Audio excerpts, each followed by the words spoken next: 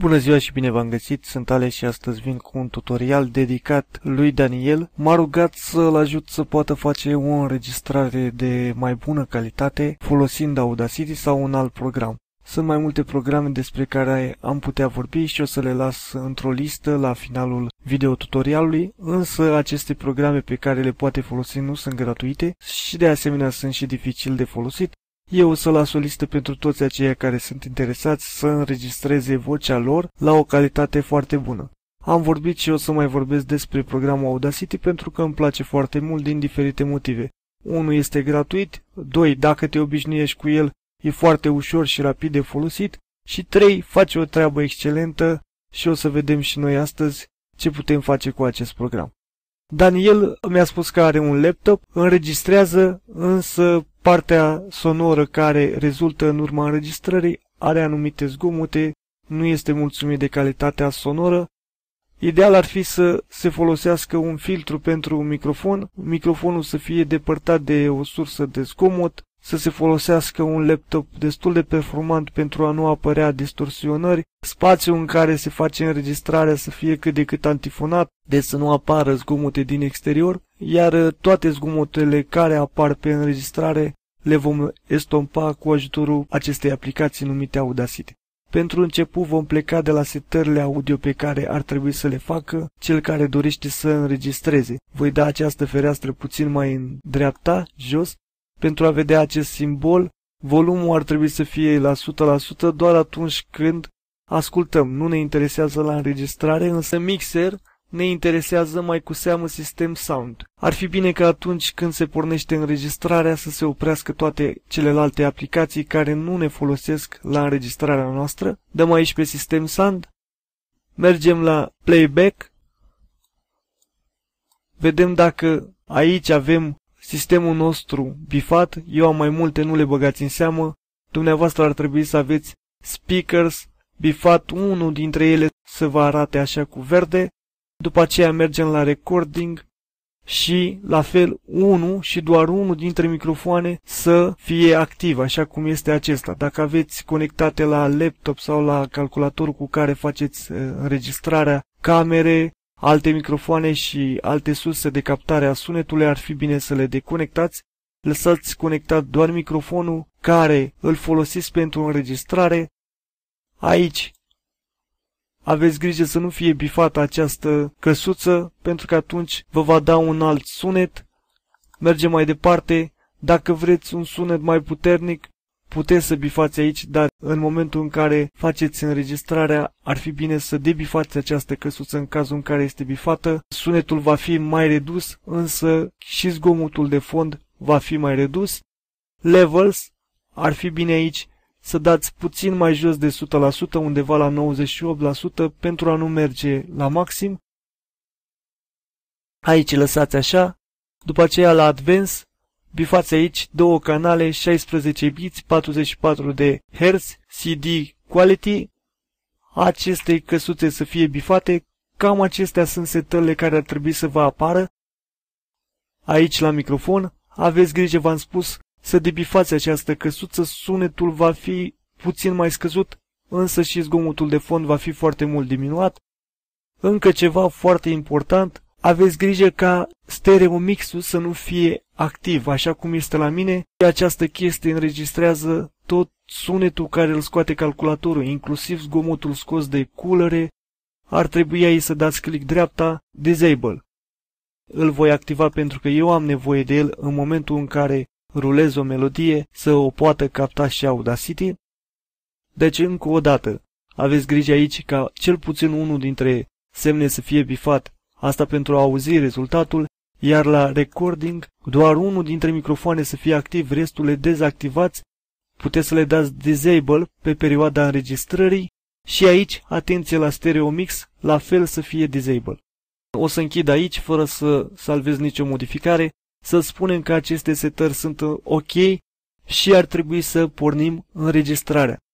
O să las în descriere această pagină unde aveți descărcarea Audacity și cele trei plugin-uri necesare. Dacă dumneavoastră le veți pe toate trei, aveți aici Audacity 206 Installer, dați click pe acest link și vă va duce pe această pagină unde dacă nu începe downloadarea automată, apăsați direct link, vedeți că a început, descărcați foarte simplu de instalat, next, next, nu aveți nevoie de nicio setare în plus și veți instala Audacity.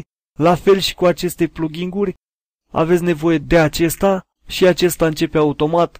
La fel îl instalați ca orice aplicație și mai aveți nevoie de acesta encoderul MP3 pentru a salva înregistrarea în format MP3. Dați click aici. Va trebui să mergeți mai jos în această pagină care vi se va deschide și veți găsi undeva aici jos pagina de downloadare. Mergeți pe această pagină, vă va duce pe o altă pagină din păcate și aici veți găsi plugin-ul care vă este necesar pentru a înregistra în format MP3. Vedeți, se descarcă fără nicio problemă. Cam atât cu Audacity și plugin-urile, să spunem că le-ați instalat, deschideți Audacity și avem aici doar câteva setări pentru început de făcut. Atenție aici să aveți la proiect tot 44 de Hz, la fel cum am avut și în setarea plăcii audio. Pentru început faceți o probă sonoră, o să fac și eu acest lucru, o să apăs pe acest buton de înregistrare și o să fac o probă 1-2, 1-2 probă de microfon, 1-2 probă de microfon opresc aici și întrucât uh, mediul meu nu este propice unei înregistrări, au apărut anumite sunete 1-2, 1-2 probă de microfon, 1-2 probă de microfon. Vedeți că e acest sfârșit supărător, va trebui să-l identificăm și să îl eliminăm. Dăm pe acest plus pentru a se expanda puțin, pentru a se întinde înregistrarea noastră, selectăm zona unde nu se aude vocea, dar se aude zgomotul o zonă mică în care să nu includem alt uh, sunet care ar putea să afecteze înregistrarea noastră, să selectez această zonă ținând apăsat click și trăgând spre dreapta sau spre stânga, dăm pe efect și căutăm Noise Removal.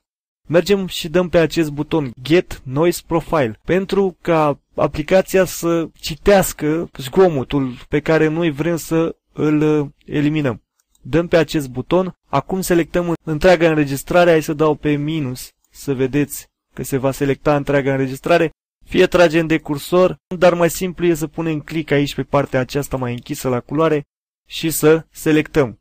Vedeți, fără să atingeți un punct anume, pur și simplu dați click și se selectează întreaga zonă audio. Acum mergem la efect și vom selecta din nou Noise Removal și de data asta apăsăm OK fără ca noi să facem o altă setare aici, dăm OK și vedeți că a dispărut acel zgomot de fond. Haideți să vedem dacă a dispărut cu adevărat. 1-2, 1-2 probă de microfon, 1-2 probă de microfon. Opresc. A dispărut cu adevărat acel zgomot de fond, se mai aude însă foarte puțin, după aceea identificăm alte sunete care sunt străine de ceea ce dorim noi să se audă și pe acestea nu le ștergem, le identificăm așa cum v-am spus, dăm click pe ele, atenție, vreau să îi spun și lui Daniel, dacă vrea o înregistrare cât de cât profesională, dacă vrea ca cântecele lui să le pună pe un CD, e adevărat, va fi un CD amator, dar la o calitate destul de bună, ar trebui să înregistreze separat instrumentala de voce, adică într-o zi să vină cu băieții să facă partea instrumentală, să o înregistreze și după aceea în altă zi să înregistreze și partea vocală, urmând să le mixeze pe ambele. O să-i arate exact cum poate face acest lucru. Însă dacă vrea să facă anumite înregistrări pur și simplu ale unor cântări din biserică, le poate face împreună pentru că nu poate cânta în biserică separat instrumentala și vocala. Însă setările pe care le fac eu aici vor avea loc atât asupra părții vocale cât și asupra părții instrumentale, întrucât acestea nu sunt bine delimitate. Și ceea ce fac acum nu ar mai putea face dacă partea instrumentală ar fi inclusă în acest track. O să elimin acest băzăit sau zgomot în felul următor. Dau edit și remove audio, silent audio. Poate dumneavoastră nu o să vă apară așa, însă cu siguranță o să aveți undeva în acest panou de control silent audio. Ați eliminat acel zgomot. De asemenea, dacă vrea să uh, atribuie anumite efecte, eu atribui anumite efecte de la delay, o să dau la D, Uneori cânt, nu cântez, mai ales în ultimul timp n-am mai făcut lucrul ăsta, însă de aici fac următoarea setare. Voi scădea aici la 9,8, aici voi crește până la 4 și aici mă voi duce la 5 și voi da OK. 1, 2, 1, 2, probă de microfon, 1, 2, probă de microfon. Opre. Se mai pot elimina încă din sunete, vedeți că aici au mai rămas sunete.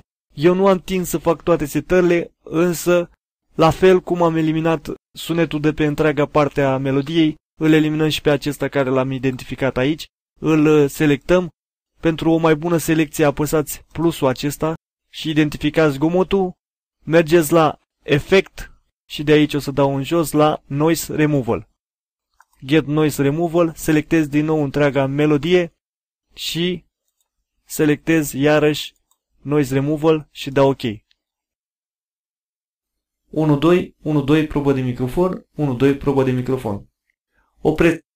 După ce s-a înregistrat partea vocală și s-a editat, ar fi bine să nu se salveze în MP3. MP3-ul scade din calitatea înregistrării, de aceea fiind un proiect, inițial până se vine și cu partea instrumentală, până se fac toate setările finale, ar fi bine să se salveze de aici, de la file, export și să nu se aleagă formatul MP3, ci să se aleagă formatul WAV, WAV, pentru că acesta nu pierde din calitatea audio.